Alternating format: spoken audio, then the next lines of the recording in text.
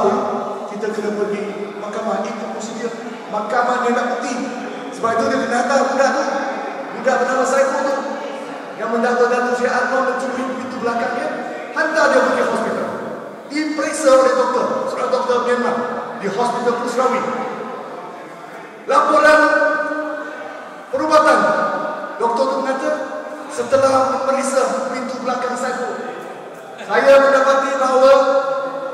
belakang hilang, pintu belakang saya pun tak rusak. Mangga dia ketak lagi.